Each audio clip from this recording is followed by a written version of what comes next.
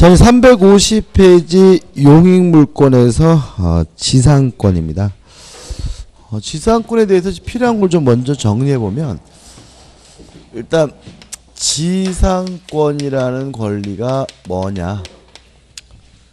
아, 지상권은 타인의 토지를 사용할 수 있는 권리다. 어떤 토지 사용권이냐면 건물이나 기타 공작물 수목을 소유하기 위해서 남의 땅을 쓸 수 있는 권리죠. 개념에서 항상 조심해야 될 것은 어, 토지 사용권이죠. 토지에 대한 권리다. 그래서 항상 뭐 많이 나오는 지문이 뭐 이런 겁니다. 땅이 갑의 것이고 건물이 을의 것인데 을이 토지에 대해서 지상권이 있다. 이런 상태에서 건물이 철거가 되면 지상권이 소멸된다. 그러면 뭐죠? X다. 왜냐하면 지상권은 토지 사용권이죠. 다시 말하면 토지에 대해서 지상권이 있다는 말은 을은 건물에 대해서는 소유권이 있고 토지에 대해서 뭐가 있는 거죠? 지상권이 있는 거죠. 그럼 건물이 철거가 되면 건물의 소유권이 없어지는 것이지 토지 사용권이 지상권이 없어진 것은 아니죠. 음, 따라서 을은 여전히 지상권이 있기 때문에 건물을 새롭게 신축하는 것이 가능합니다. 다시 말하면 지상권은 토지 사용권, 토지에 대한 독립된 권리이기 때문에 이 건물의 소유권과 지상권은 부종성도 없고 수반성도 없는 거죠. 건물의 소유권이 없어졌다 그래서 지상권이 자동으로 없어지는 것도 아니고요. 건물을 팔았다 그래서 지상권이 자동으로 쫓아가는 것도 아니고요.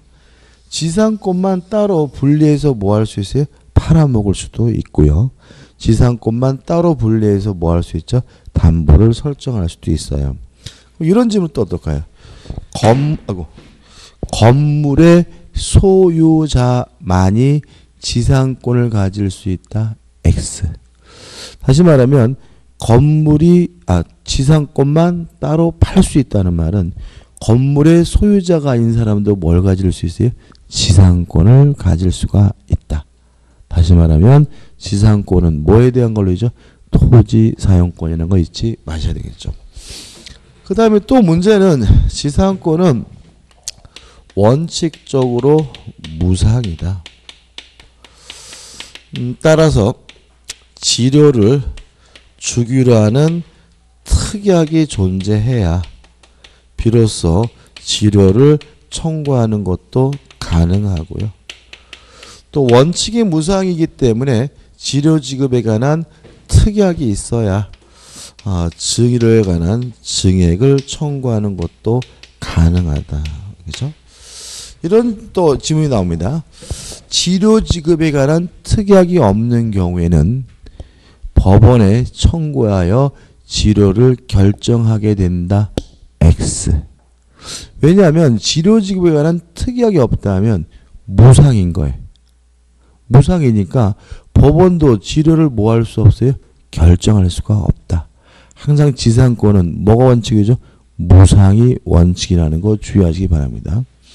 또 이런 것도 있어요. 판례 보면은 그러니까 지료 지급에 관한 특이하게 없으니까 지료를 청구할 수가 없잖아요. 법원에다가 결정해 달라 그랬더니 법원이 또 뭐라 그래? 무상이 원칙이니까 지료를 결정해 줄 수가 없대요. 그래서 이런 거죠. 처음에 지상권이 설정됐을 때는 지료가 빵원이었는데 지금은 경제 사정 등이 변동됐기 때문에 빵원일 수가 없다.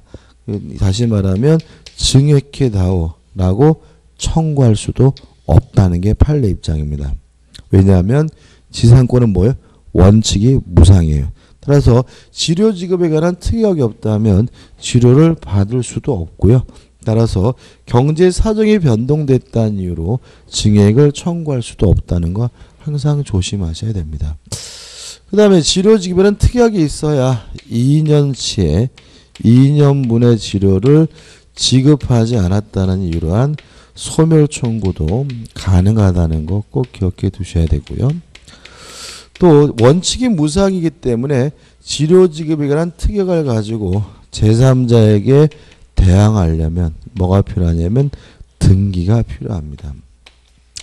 따라서 만약에 당사자 간에 치료 지급에 관한 특약이 있다면 당사자 간에는 치료를 청구할 수가 있겠지만 만약에 지상권자가 바뀐 경우에는 새로운 지상권자에게는 치료를 청구할 수가 없습니다. 왜냐하면 제3자에게 대항하려면 뭐가 필요하죠?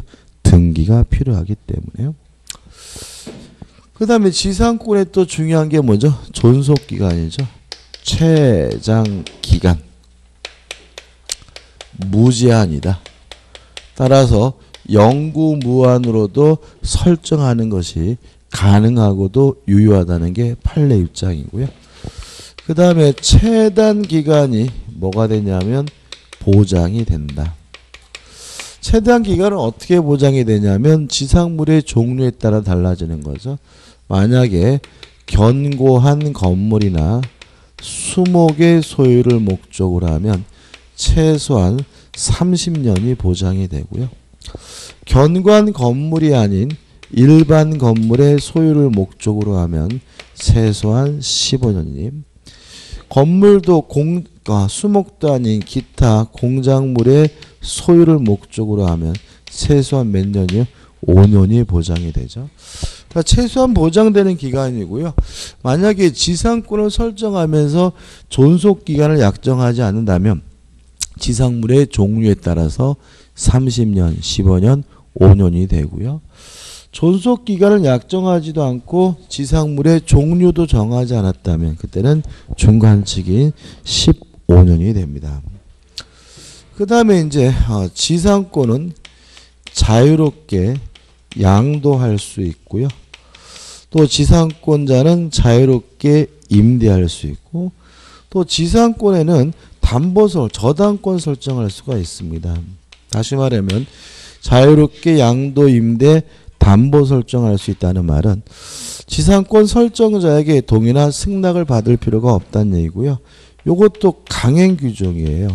따라서 특약으로도 음, 특약으로도 배제할 수가 없습니다. 그래서 만약에 양도를 금지한다라는 특약을 하게 되면 그 특약 자체가 무효입니다. 아, 특약에도 불구하고 자유롭게 양도할 수 있다는 거 기억해 두시고 그 다음에 지상권이 소멸이 됐다. 소멸이 되면 원칙적으로 원상 회복해야 됩니다.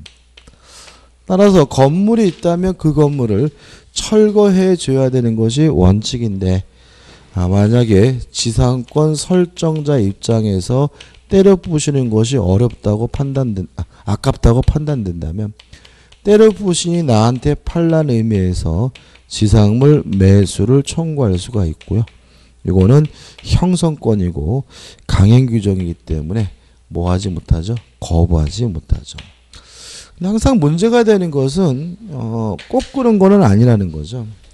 만약에 여러 가지 소멸 사유 중에서 존속 기간이 만료됐다는 사유로 소멸된 경우만은 꼭 원상 회복해야 되는 것은 아닙니다.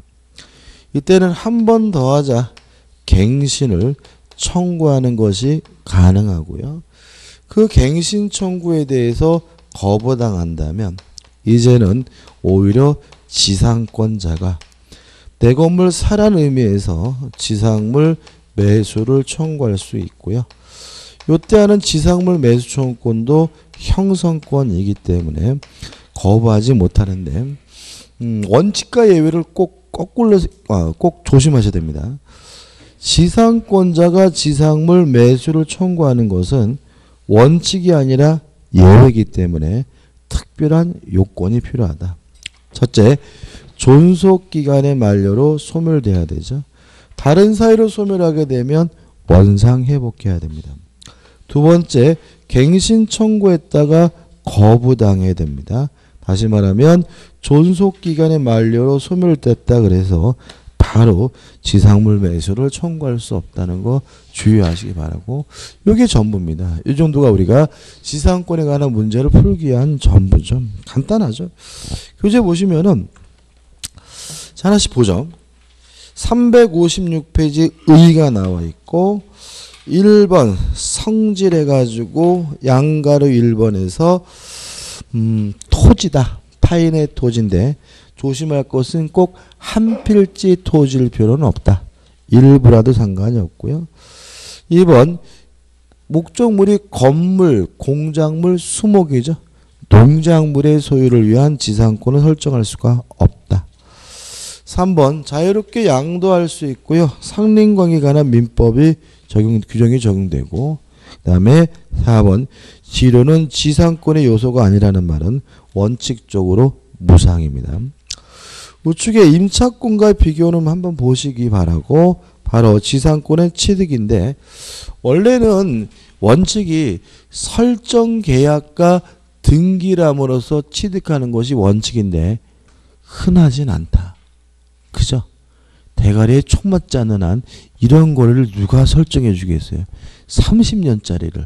참고로 우리가 견고한 건물과 일반 건물은 이게 어떻게 구별하는 거냐면 이 법이 60년 1월 1일부터 시행된 거기 때문에 입법자는 기와집은 견고한 건물, 초가집은 일반 건물 이런 식으로 만든 조문이에요. 그래서 현대적 시각에서는 다 뭐예요?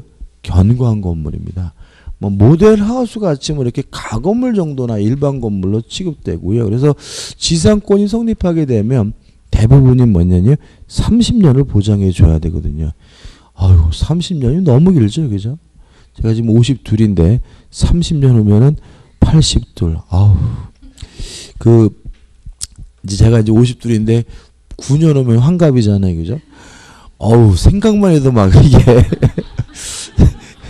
그 제처한테 어, 나 있잖아. 9년 후면 환갑이다 그랬더니 엄마 이러더라고요. 제가 웃긴 소리 해드릴까요? 그 몸이 막 괜히 피곤한 거예요 제가. 그리고 또 감정 기복도 좀 심해요 제가. 막 뭐죠? 그 기분 좋았다가 나빴다가. 그리고 또 별로 걱정할 것도 저는 없거든요. 근데 막 새벽 한 3시쯤 눈이 떨어져 가지고 별 이유도 없이 불안하고 무기력하고 그래서 제가 저번 주에 아 이번 주구나 이번 주에 이번 주에 이 옆에 병원 가가지고 그 갱년기 검사를 받아봤어요. 네, 갱년기 오늘 받아봤어요. 우리 원장님들은 아이 가서 받아보라고 그래가지고 피 뽑아서 받았더니 갱년 그러더니 월요일날 어, 화요일날 피 뽑 화요일날 했거든요.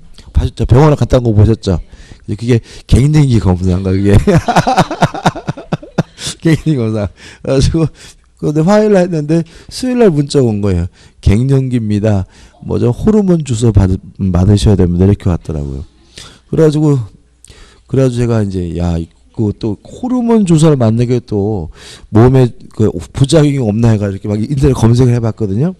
검색을 해봤는데 여자분들도 많이 그런 거 질문하시더라고요. 그 여자분들은 이제 남성 호르몬이 너무 많아가지고 그래서 이제 어떤 분이 이제 남성 호르몬이 어, 이런데 뭐 이 정도 많은데 몸을 이렇게 나더라고요. 아 근데 놀라운 거는 그 여자분이 저보다 나더 많아.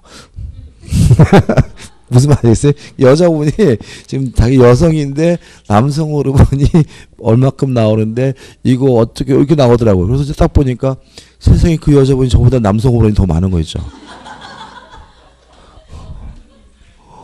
그래서 제가 과연 나는 지금 남자인가? 어, 충격적이었어요, 진짜. 그래가지고 이제 검색해 보니까 그래서 지금도 호르몬 주사를 맞을지 모르겠네요. 그, 그 뭐죠, 그 부작용이 뭐 여드름, 뭐 좋아. 근데 여드름 좋지, 뭐 어때요, 그죠? 탈모. 그리고 뭐 심장, 뭐 심장 뭐 이런데 문제가 있고 막 이렇게 나오더라고요. 뭐 도론사 위험이 있다는 등, 아유, 그래서 이거를 받아야 되나. 아무튼 지금 고민 중에 뭐 하다 얘기 나왔죠. 아, 아무튼 이 견고한 건물은 뭐죠? 기와제. 일반 건물은 초가집. 이런 시각으로 만든 조문이기 때문에 대부분의 조항이 다 뭐죠? 견고한 건물이고요. 그러다 보니까 실제로는 설정 계약을 하고 설정 등기를 함으로써 발생하는 지상권은 거의 없다. 대부분이 다 뭐냐면 2번 법률 규정에 의한 취득인데 넘겨보시면 중요한 게 뭐가 나오죠? 법정 지상권이 나와요. 그래서 이 법정 지상권이 일반적입니다. 그래서 여러분 나중에 실무 가셔서 지상권이라고 나오면 다뭐 법정 지상권이 용어가 대부분이고 그래서 이건 우리가 또 자세히 봐야 되는데 이거는 해당 부분에 볼 거다. 그 다음에 359페이지 오시면 지상권의 존속기간에서 지상물의 종류에 따라서 최단 존속기간이 결정된다. 이런 나오고 그 다음에 어, 우측에 판례가 나와요. 판례. 이 판례는 뭐냐면은 이런 겁니다. 판례가 좀 그지 같은데 요 최단 존속 기간이라는 것은 건물 등을 소유하기 위한 경우만 최단 존속 기간이 보장이 되는 거고 기존에 있는 건물을 단순히 사용할 목적으로 설정한 경우에는 최단 기간이 적용되지 않는다는 판례입니다. 근데 실제로 이 판례가 시험에 한번 나온 적은 있어요. 나온 적은 있는데 그래도 교재 들어가 있는데 또 내긴 좀 힘들 것 같아요. 왜 그러냐면 요거는 지상권 자체가 아니거든요.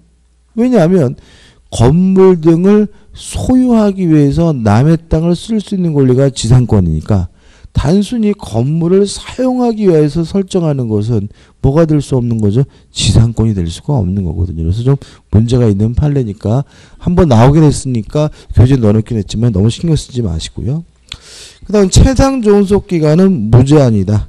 따라서 연금 무한으로도 설정하는 것이 가능하고요. 넘겨보시면 핵심 판례도 뭐죠? 근형이고요.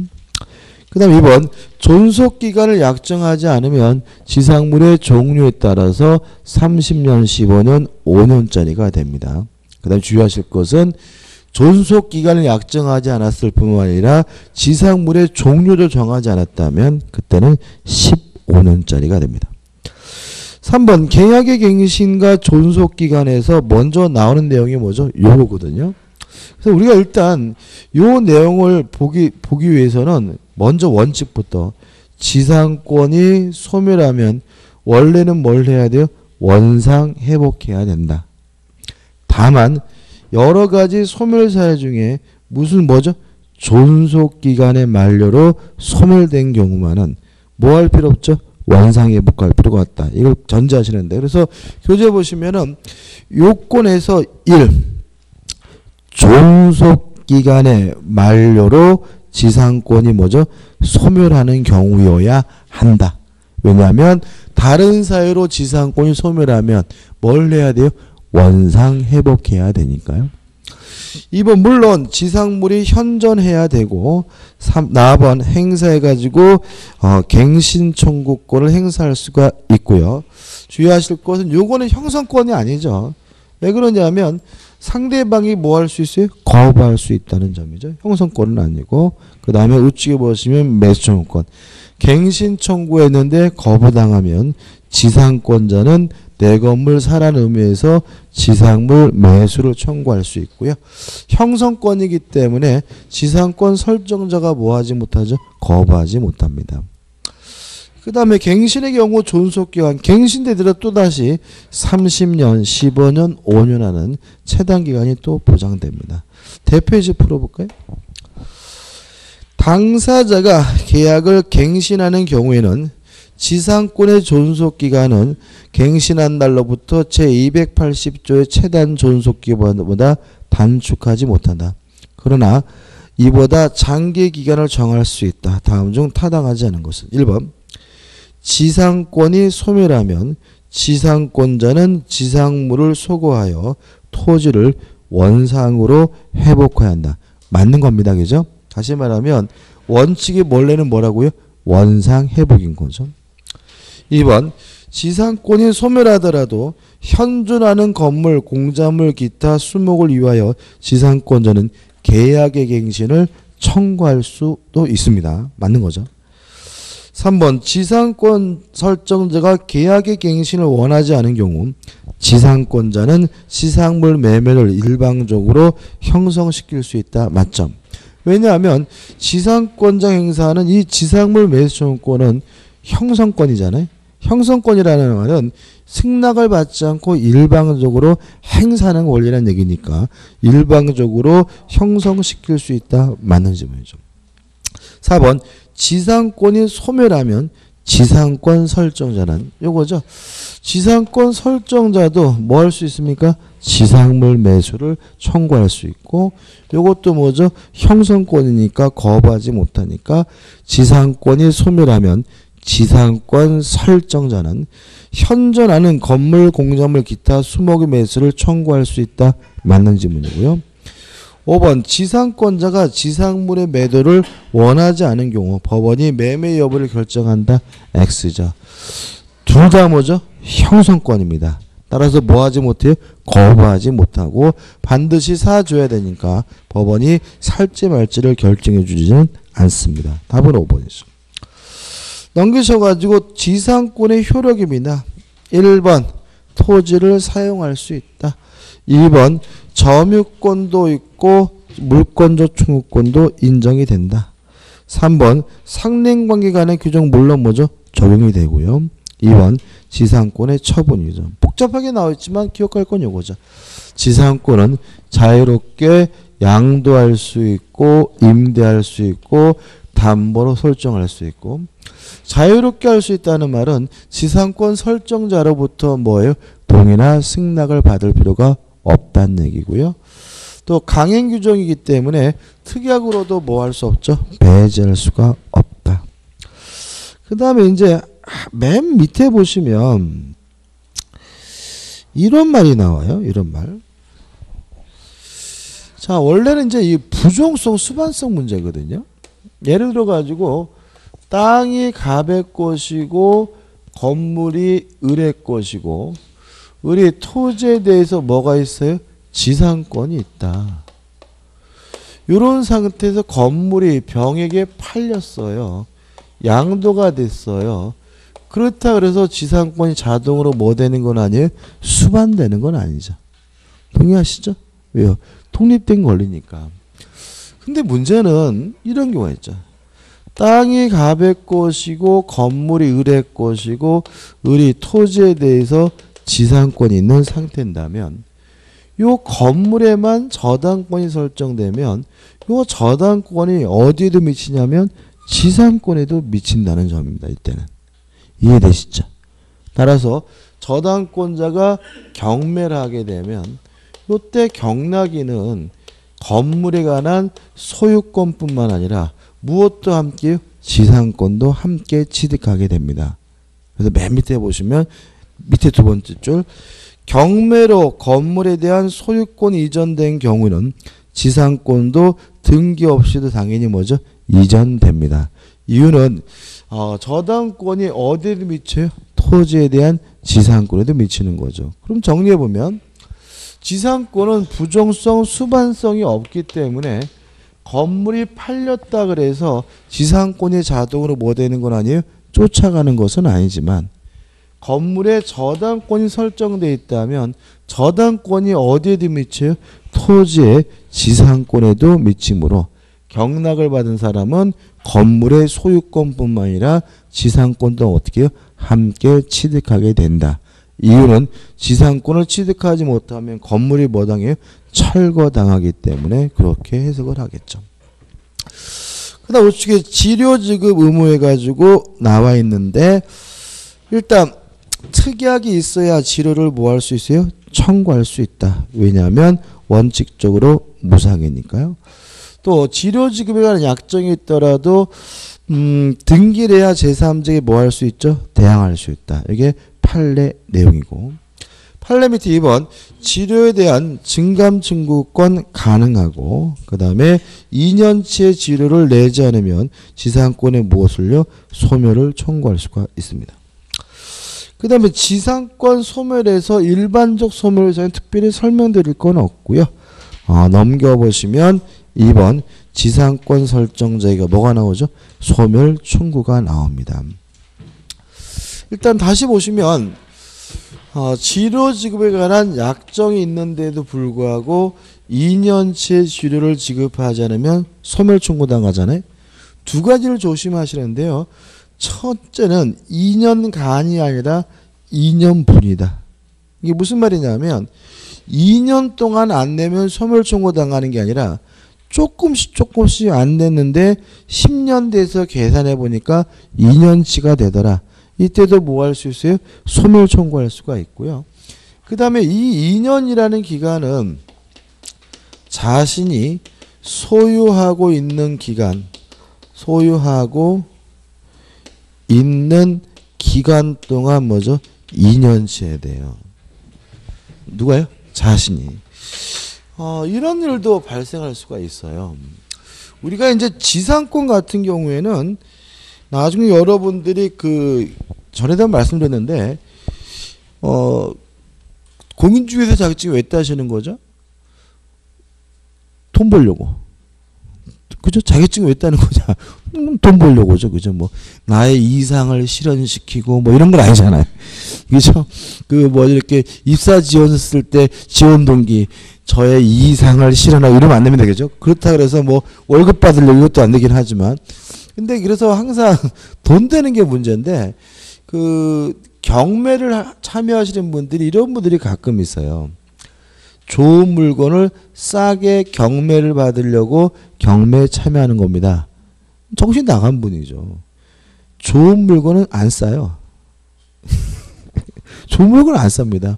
만약에 좋은 물건을 싸게 사고 싶으시면 경매에 참여할 게 아니라 뭐죠? 시골 가서 할머니 등치는 게 나아요. 이 무슨 말이냐면 경매는 정보가 공개되어 있는 상태이기 때문에 경쟁에 붙는 상태이기 때문에 좋은 물건이면 무조건 비싸요. 그러니까 다시 말하면 그러니까 좋은 물건 싸게 살려면 뭐예요? 정부의 어두운 시골 할머니를 등쳐야 되지 경매 가서 할 문제는 아닌 거죠. 그러면 경매를 참여해야 되는 이유는 그러면 안 되고요. 어, 나쁜 물건을 경매 받으려고 참여하는 겁니다. 왜냐하면 나쁜 물건은 싸요. 근데 만약에 나쁜 물건을 경매를 받아가지고 좋게 만들 수 있다면 거기서 수익이 창출되는 거예요. 예를 들어가지고 토지의 법정 지상권이 성립하는 땅은요 거의 똥값입니다. 똥값인데 만약에 법정 지상권을 없앨 수가 있다면 그만큼 뭐가 생기는 거예요? 소득이 생기는 거예요. 그래서 그 실제로는 그래서 경매 가장 주된 목적은 나쁜 물건을 싸게 경락을 받아서 그것을 어떻게 해요? 좋게 만들어서 팔아먹을 요량으로 참여하는 거고요. 그래서 실제로 법정 지상권이 있는 토지는 진짜 나쁜 물건이기 때문에 그거만 골라서 사러 다니는 분도 굉장히 많습니다. 또 유치권도 굉장히 나쁜 물건이죠. 누가 유치권 행사 중이면 골치 아픈 물건이기 때문에 아주 나쁜 물건이고요. 그래서 그것만 사러 다니는 사람도 의외로 많습니다. 그래서 실제로 경매 고수들은 나쁜 물건을 구입하려고 해요. 근데 이, 이런 경우죠. 갑이 땅의 주인이고요. 을이 건물 주인이고 을이 토지에 대해서 뭐가 있냐면 지상권이 있어요. 근데 갑이 치료를 1년 6개월치를 못 받고 있어요. 몇 년치죠? 1년 6개월. 근데 병이 가만 보니까 요 지상권이 있는 이 땅은 똥값이잖아요. 근데 이제 몇 년만 기다리면요. 6개월만 기다리면 몇 년치가 돼요? 2년치가 되니까. 그래서 만약에 의리 행사하고 있는 지상권을 소멸시킬 수만 있다면 땅값이 정상 가격으로 돌아가는 거잖아요. 그죠? 그래서 병이 갑한테 땅을 아주 싸게 하고 이전 등기를 받았고요. 6개월이 지난 후에 을에게 지상권을 소멸해 달라고 뭐 했어요? 청구했어요. 이거는 받아들이지 않습니다. 왜냐하면 자신이 소유하고 있는 기간 동안 몇 년치에 대해 2년치. 다시 말하면 자기가 못 받은 돈이 2년치가 돼야 소멸 청구할 수 있고요. 앞 사람과 합쳐서 몇 년치가 되더라도요. 2년치가 되더라도 소멸 청구할 수 없다는 것이 우리 판례 입장입니다. 이유는 갑이 못 받은 거 의리 신경 쓸 바는 아닌 거죠. 갑이 못 받은 돈이 좀 가슴 아플지 모르겠지만 의뢰 신경 쓸 바는 아니란 얘기죠. 그래서 자기가 소유하고 있는 기간 동안 몇 년 채야 돼요? 2년 채워야 됩니다.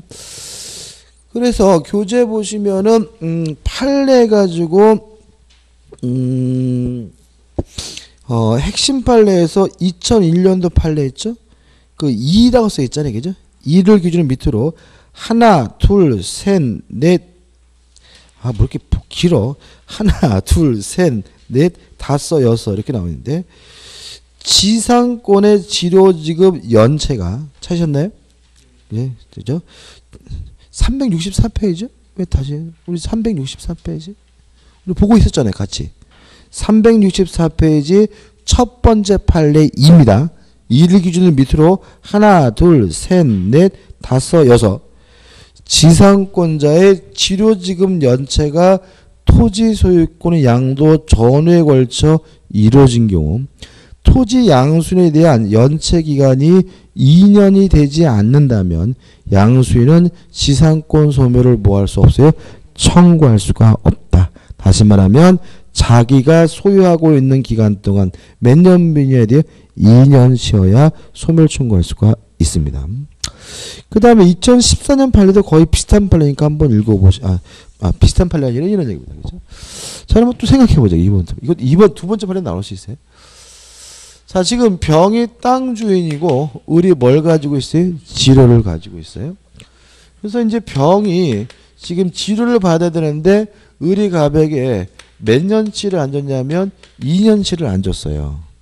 그래가지고 이제 병이 어떻게 열받아가지고, 야, 자식아, 너 있잖아, 소멸 청구할 거다라고 하려고 했는데 이놈이 한 달치를 입금했어요. 몇 달치를? 한 달치를. 이러면 어떡할 거냐. 이게 지금 예를 들어서 2년치가 예를 들어서 2천만 원인데 지금 이놈이 2천만 원이 되니까 청구하려고 막 그런데 이놈이 뭐, 뭐 50만 원을 입금했어요. 이럴 땐 소멸 청구할 수 있을까요? 없다 이 판례. 다시 무슨 아시겠죠? 다시 말하면 지, 지급하지 않고 있는 지료가 몇 년치야 돼요?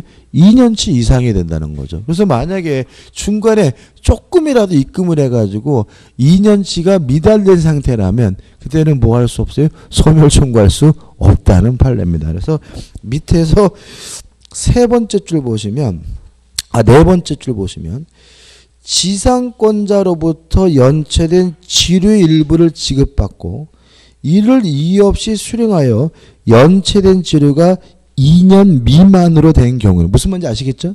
그러면은 지상권 설정자는 종전의 지상권자가 2년분의 지료를 연체했다는 사유를 들어 지상권자에게 지상권 소멸을 청구할 수 없으며 이러한 법률은 토지 소유자와 법정 지상권자 사이도 마찬가지입니다. 아무튼 몇 년치가요? 2년치. 그래서 건물 주 입장에서는 2년치가 대역이죠. 그러면 꼭 1년치 내려고 하지 말라고요. 그러니까 원래 보통 연으로 주는 경우가 많거든요. 1년 얼마. 이게 목돈이잖아요. 목돈이니까 뭐 큰일 났다 이번 건물 초과다 신경 쓰지 말고 어떻게 단돈 50만 원을 입금을 해가지고 10만 원을 입금해가지고 몇 년 미만으로 만든다면요 2년 미만으로 만든다면 선별청구 당하지 않는다는 얘기죠. 그 다음 우측에 지상권 포기 물론 할 수 있고 소멸의 효과 해가지고 1번 2번은 요거죠.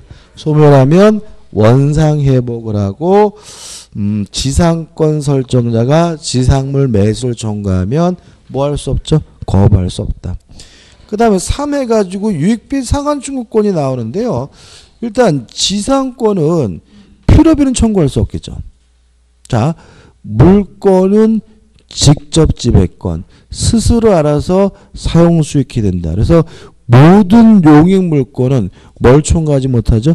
필요비를 청구하지 못합니다. 지상권도 지역권도 전세권도 필요비 상한은 청구하지 못하고요. 뭐만 청구할 수 있습니까? 유익비 상한만 청구할 수 있죠. 그 다음에 밑에는 강행 규정이다. 따라서 특약으로 뭐 할 수 없죠? 배제할 수 없고요. 음, 주의하실 것은 특히 이 양도 금지 조항이 뭐죠? 강행 규정이라는 거 꼭 기억해 두시기 바랍니다. 넘겨 보시면 이제 뭐가 나오냐면 특수지상권이 나옵니다. 특수지상권에서 첫 번째 나오는 것이 뭐냐면 구분지상권입니다. 개념은 땅 속의 특정층, 공중의 특정층에다가 설정하는 토지 사용권이 구분지상권이고요. 원래는 없었는데 1980년대 우리나라에 지하철을 건설하면서 어, 땅 속이나 공중에다가 토지 사용권을 설정할 필요가 있어서 만든 거고요. 주의할 점은 두 가지인데 법좀 읽어볼 건데요. 첫째는 구분지상권의 목적에서 수목은 빠진다는 점이죠. 왜냐하면 땅 속에다가 수목을 소유할 수는 없어요. 그러니까 지하철 생각하시면 돼요. 지하철역 앞에도 마찬가지지만 땅 속에 지하철역 있죠. 그 말은 뭐죠? 건물이 들어갈 수 있는 거죠. 또 그 안에 뭐죠? 지하철 철길도 있잖아요. 공작물로 들어갈 수 있죠. 수목은 안 들어가요. 그래서 목 쪽에서 뭐는 빠지죠? 수목은 빠집니다. 자, 의 읽어볼게요. 의. 토지의 지하 또는 지상의 공간에 상하의 범위를 정하여 건물, 기타 공작물을 소유하기엔 지상권입니다. 여기서 보통 어떻게 오답을 만드냐면 공, 건물, 기타 공작물 및 수목 이렇게 해서 오답을 만들어요. 그래서 이 부분은 알면서도 틀릴 수 있어요. 그래서 수목이 들어갔는지 안 들어갔는지를 꼭 확인하셔야 된다. 그 다음에 2번 특색은 읽어보시면 될 것 같고 하단에 3번 해가지고 구분지상권의 설정이 나오는데 일단 구분지상권을 설정할 때는 토지 소유자와 설정 계약을 하고 등기를 함으로써 성립하게 되는데 문제는 구분지상권이 설정되면 토지 소유자만 피해를 보는 게 아니라는 점입니다. 이 땅에 있는 다른 권리자들도 다 피해를 봐요. 예를 들어서 전세권자가 살고 있다. 이제 밤에 뭐요? 아, 지하철에 지나다니까 새벽 2시만 돼도 어떻게 초코덕 초코덕 소리 나면 힘들잖아요. 그죠? 저당권자도 피해를 봐요. 왜냐하면 이렇게 땅 속에 구분지상권이 설정하게 되면 땅값이 떨어지죠. 담보 가치가 하락하기 때문에 저당권자도 뭐 보게 돼요? 피해를 보게 된다는 거죠. 그래서 토지 소유자 외에 다른 권리자가 있다면 다른 권리자 전원의 동의가 있어야 구분지상권 설정할 수 있습니다. 또 역으로 말하면 토지 소유자 외에 다른 권리자가 있더라도 그 사람의 동의가 있다면 구분지상권 설정이 뭐죠? 가능하다. 이런 논리가 생기는 거죠. 그래서 시험에 이런 게 나와요.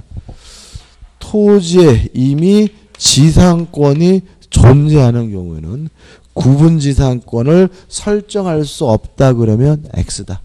왜냐하면 지상권이 있더라도 그 사람의 동의가 있다면 구분지상권 설정이 가능하다는 거죠. 교재는 안 읽어볼 건데 두 가지. 첫째, 구분지 상권의 목적에서 수목은 빠진다. 두 번째, 토지 소유자 외에 다른 권리자가 있다면 다른 권리자 전원의 동의가 있다면 구분지상권 설정이 가능하다. 끝이죠. 그 다음 우측에 보시면 이제 뭐가 나오냐면 분묘기지권이 나옵니다. 분묘기지권은 시험에 잘 냅니다. 은근히 중요한데 일단 개념을 좀 조심하셔야 된다. 분묘기지권도 지상권이라는 말은 얘도 뭐죠? 타인의 토지 사용권이라는 얘기죠. 남의 땅을 쓸 수 있는 권리라는 점에서는 지상권과 같은데 뭐가 다르냐면 분묘를 소유하기 위해서 남의 땅을 쓸 수 있는 권리가 뭐죠? 분묘기지권이죠. 그래서 분묘기지권의 개념에서도 항상 문제가 되는 게 뭐냐면 토지 사용권입니다. 묘에 대한 권리가 아니라는 거죠. 다시 말하면 갑의 땅에 을이 선치를 묘신 분묘를 가지고 있다면 을은 묘에 대해서 뭐가 있는 거죠? 소유권이 있고 토지에 대해서 뭐가 있는 거예요? 분묘 기지권이 있는 겁니다. 우리는 분묘 기지권을 공부할 때 절대로 묘를 공부하고 있는 게 아니에요. 뭘 공부하고 있는 거죠? 토지를 공부하고 있는 거죠. 그잖아요? 지상권도 마찬가지잖아요. 땅이 갑의 것이고 건물이 을의 것이고 우리 이렇게 되면은 우리가 지상권은 지금 배웠고 건물의 소유권은 어디서 배운 거예요? 소유권에서 배운 거예요. 그래서 우리가 지상권을 공부한다는 말은 건물을 공부하고 있는 게 아니라 뭘 공부하고 있는 거예요? 토지를 공부하고 있는 거거든요. 마찬가지예요, 이것도. 그래서 여러분들이 공법 시간이나 중개사법 시간에 배우는 장묘 등에 관한 법률은 이거하고 상관이 없다. 왜냐면 그거는 묘를 규율하게 한 법이거든요. 뭘요? 묘를. 우리는 지금 뭘 공부하는 거예요? 토지를 공부하고 있는 겁니다. 그래서 내용이 상이하더라도 내용이 들어더라도 아무 상관이 없는데 자꾸 이거를 묘지권으로 묘에 대한 권리를 오해하기 때문에 이게 이상하게 꼬이는 거예요. 분묘기지권은 뭡니까? 토지 사용권입니다. 우리는 묘를 공부하고 있는 게 아니라 뭘 공부하고 있는 거죠? 토지를 공부하고 있다는 거 항상 가져가셔야 되고요. 따라서 장묘 등에 관한 법률은 여기에는 적용되지 않는다는 것도 좀 주의하시기 바랍니다. 이게 의고요. 그 다음에 성립 요건이 나오는데 그냥 제가 뭉뚱그려 써놨는데 좀 자세히 쓰면은 먼저 발생 원인을 먼저 끄집어내야 돼요. 원칙은 토지 소유자의 승낙입니다. 다시 말하면 땅 주인한테 승낙을 얻어서 남의 땅에다 묘를 쓰면 그때 갖게 되는 토지 사용권이 뭐가 되는 거예요? 분묘 기지권입니다. 분묘 기지권을 취득하려면 뭐가 필요합니까? 승낙이 필요합니다. 그러면 항상 그러느냐? 아니다. 예외가 있는 거죠. 첫째, 무단으로 분묘를 설치했다면 그때는 분묘 기지권을 가질 수는 없습니다. 다만 20년 지나면 뭐 할 수는 있어요? 취득시 할 수는 있어요. 그러니까 이거를 이렇게 이해하시면 안 되는 거죠. 아, 무단으로 분묘를 쓰더라도 분묘 기지권을 가질 수 있구나. 이게 아닌 거죠. 그러니까 무단으로 묘를 쓰면 분묘 기지권을 가질 수가 없으니까 몇 년이 지나야죠? 20년이 지나야 분묘 기지권을 뭐 한다는 거예요? 시효 취득한다는 거예요. 이해되시죠? 아다르고 어다는 겁니다. 따라서 남의 땅에 허락도 없이 무단으로 묘를 쓴 경우에도 분묘 기지권을 취득한다 그러면 뭐예요? X입니다. 그 다음에 두 번째는 음, 임야를 거래한 거죠. 이것도 중요한데 임야를 거래할 때 분묘 처리 관한 특이하게 부존자의 경우다. 부존자는 경우는 분묘 기지권이 발생하게 된다는 것이 우리 판례 입장입니다. 우리가 이제 분묘 기지권은 관습법상 물건이기 때문에 등기 능력이 없어요. 등기할 수 없어요. 그렇기 때문에 등기부 등본 떼봐야 나오지 않습니다. 그래서 만약에 임야를 구입하실 때는 반드시 현장에 가셔가지고 묘가 있는지를 확인하신 후에 묘가 있다면 그 묘를 이장한다, 철거한다 같은 뭘 해야 돼요? 특약을 해야 돼요. 특약을. 무슨 아시겠죠? 만약에 그런 걸 안 하게 되면 분묘기지권이 발생하기 때문에 그 땅을 뭐 할 수 없어요? 쓸 수가 없습니다. 그 다음에 두 번째 경매점. 대한 경매입니다. 임야에 대한 경매가 이루어지게 되면 뭐가 발생합니까? 분묘 기지권이 발생합니다. 이것도 조심하셔야 되는데 그 보통 우리가 이제 경매할 때 가장 실수하게 되는 것이 뭐냐면 인터넷 나와 있는 정보만 믿는 경우가 많아요. 절대로 믿으면 안 돼요. 우리가 사기할 때 뭘 배우셨어? 사기하면 사기 공부하면서 뭘 배웠죠? 상대방 말 믿을 거 하나도 없다는 얘기죠. 그죠? 그죠? 그놈이 나를 속여봐야 뭐도 아니라고 사기도 아니었잖아요. 그래서 우리가 인터넷 같은 거 믿으시면 안 되고 특히 이명 같은 거 경락법 병명 받고 싶으시면 가셔서 뜻이 뒤져야 돼요. 분묘가 있는 거를 확인해 보시고 분묘가 있다면 그 분묘 이장하지 못한다는 전제에서 가치를 평가해야 돼요. 왜냐하면 임야가 경매가 되면 기존의 분묘에 대해서는 다 분묘 기주권이 발생해 버리기 때문에 그 땅을 그 뭐예요? 이장을 못 해요. 그래서 만약에 이런 거 있죠. 괜히 싼 거 같다 그런 경우는 다 묘가 있는 경우에. 그래서 개, 어이구 싸네. 야, 이 평당 얼마야? 야, 평당 3만 원밖에 안 해. 빨리 했는데 갔더니 그냥 바바바바 완전 곰보야 곰보. 막 이래 버리면 그 땅 뭐죠? 아무짝에도 쓸모없는 돈지랄이 될 수가 있고요. 또 역으로 말하면 이게 또 돈 되는 땅일 수도 있어요. 그러니까 묘가 많은 이면은 안 좋은 부동산입니다. 뭐라고요? 안 좋은 부동산. 그래서 만약에 그 묘를 이장할 수 있는 방법이 있다라고 판단된다면 그 땅을 경락받아서 묘를 뭐죠? 철거하면 또 그게 뭐가 되는 거예요? 돈이 되는 거예요. 무슨 아시겠죠? 그죠? 항상 안 좋은 땅을 좋게 만들어야 뭐가 생기는 거예요? 돈이 생기는 거고 안 좋은 땅을 좋게 만들기 위해서는 민법을 잘 하셔야 돼요. 민법을. 그러니까 이런 거죠. 어떤 부동산을 이렇게 그 통해 가지고 거래를 그러니까는 개발을 통해서 돈을 벌려고 한다면 공법을 잘 하셔야 되는 거고. 그죠? 돈 드는 감옥에 다 있는 거죠. 그죠? 근데 만약에 오히려 경매 등을 통해 가지고 안 좋은 땅을 경납받아서 좋게 만드는 방법으로 돈 벌려고 하면 그때는 뭐죠? 민법을 잘 알아야 돼. 그래서 이 분묘기주권도 돈 되는 내용일 수도 있어요.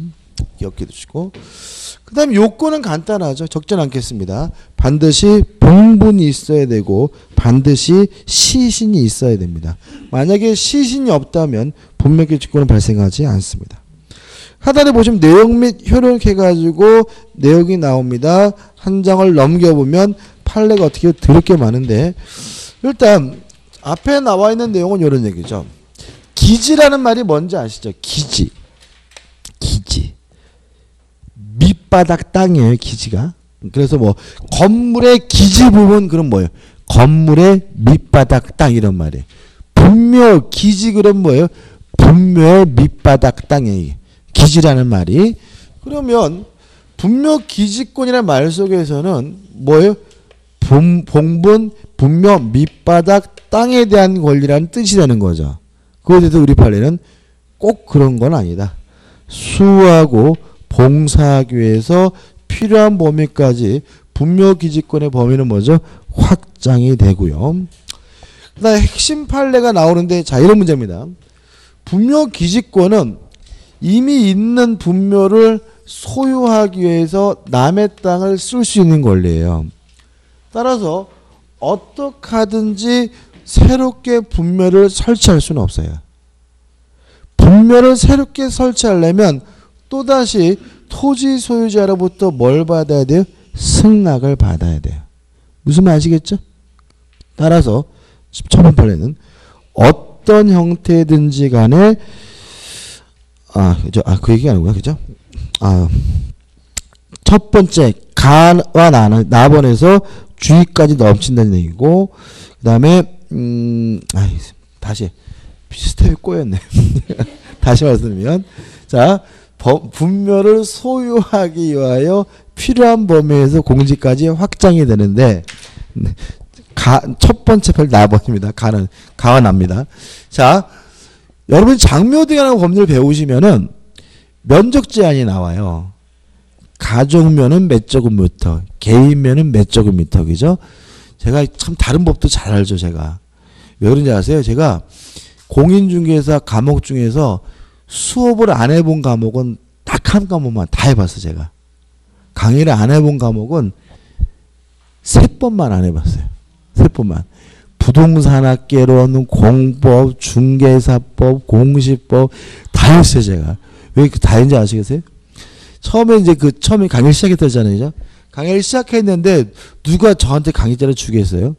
더더군다나 이제 민법은 중요 과목이니까 함부로 강의 자리에 앉아요. 그래서 제가 처음에 중개사법 강의도 하고요. 그래서 중개사법 중개사법 가서 강의하고 뭐 공시법 공시법 가서 강의하고 막 공법 학교론까지도 강의하고 막 그랬어요.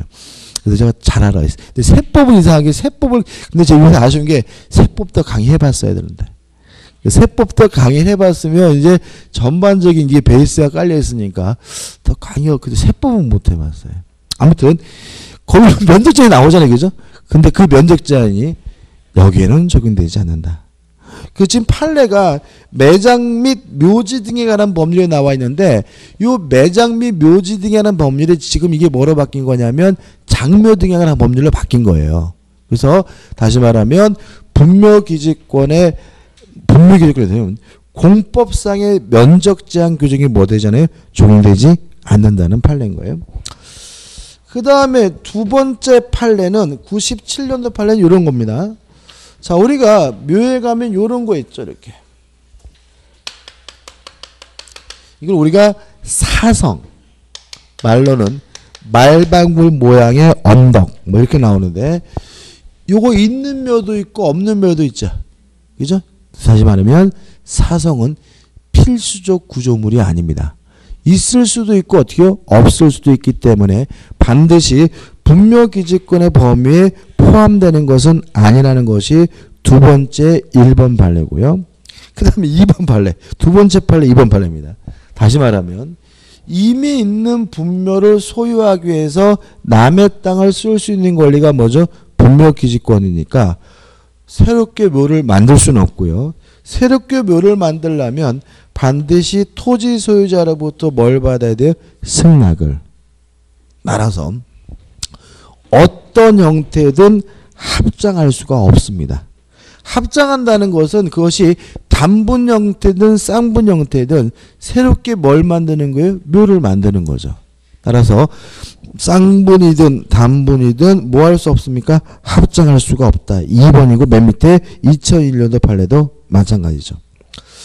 그 다음에 우측에 보시면 이제 2015년도 판례가 나와 있어요. 그죠? 자, 이겁니다.